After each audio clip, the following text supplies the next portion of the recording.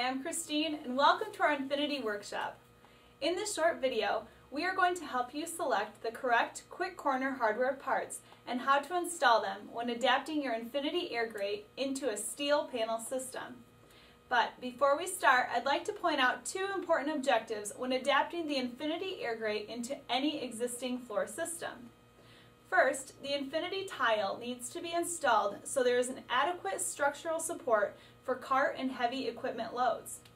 And second, you want the Infinity grate to have the best flush fit as possible with your surrounding solid tiles. To achieve both objectives, we need to make sure the right Infinity Quick Corner parts are installed and properly engaged with the existing pedestal support understructure. So, with that in mind, let's look at the Quick Corner parts used when adapting into a steel application. This is pretty easy since there are only two adapting hardware parts involved. Quick Corner 2, along with a self-locking nylon quick nut that secures it onto the panel. We determine which quick corner to use by measuring the span between the finished floor surface and the point where the Infinity Quick Corner makes support contact with the understructure. Typically, this is on the pedestal head as we have marked here and will refer to as dimension X. There are different ways you can make this measurement, and remember, the more accurate the measurement, the better flush fit, which is very important so you don't end up with a potential trip hazard or speed bump effect with cart traffic. For our demonstration here and in the field, you will need to remove one or possibly two existing tiles from the floor to clearly expose the corner support understructure. After the tile has been removed, take an ordinary 12-inch ruler and place it on its edge on the tile surface so that the end extends over the cavity area directly above the corner support pedestal.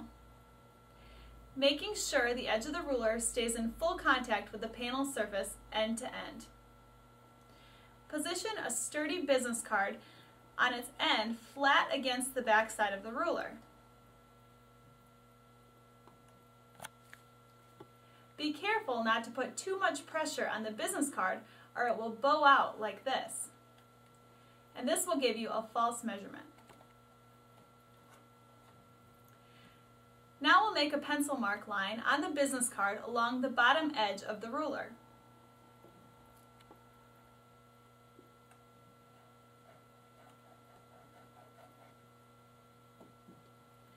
Okay, now let's use the ruler to record the measurement of our line marking made on the business card.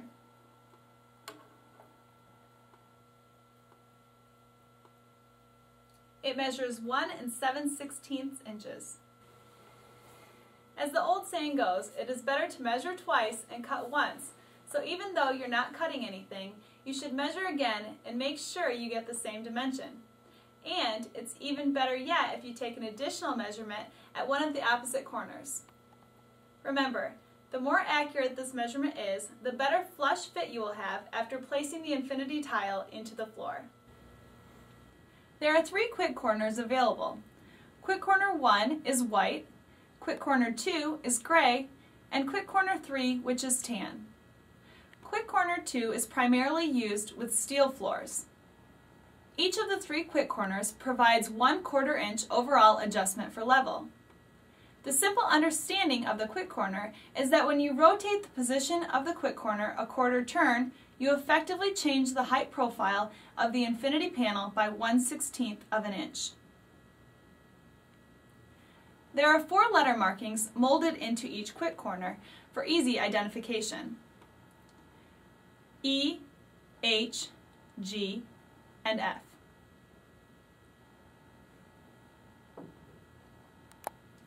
Since we already have measured for X dimension using the business card, you can refer to the Infinity website and the Quick Corner Parts Guide.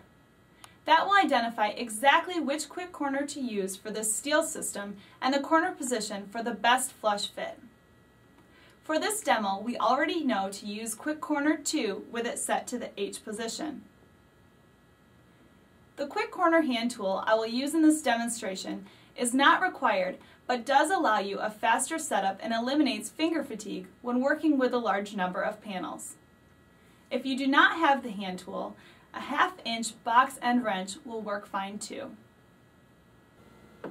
We have now placed the infinity panel bottom side up on our table. Simply place the quick corner over the positioning post on the panel, making sure that the H marking is in the outer position.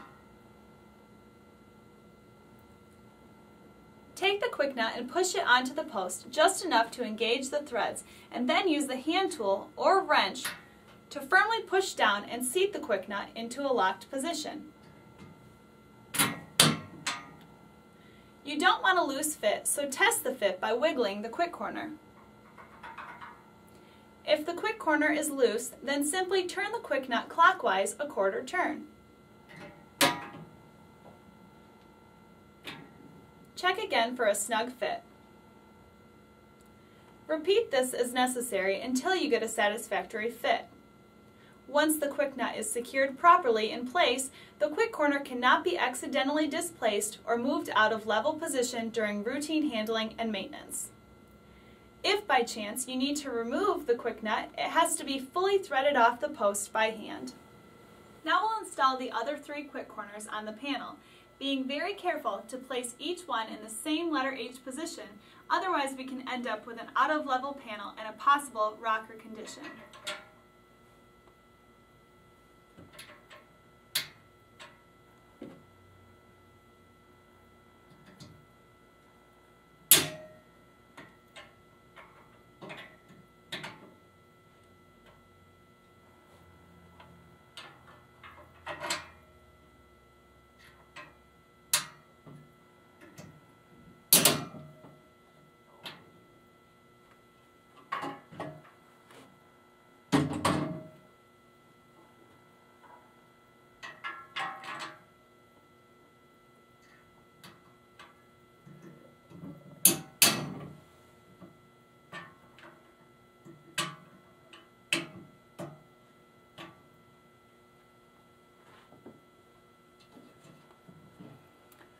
Corners are now installed with a snug fit and the infinity tile is ready to be placed into the floor.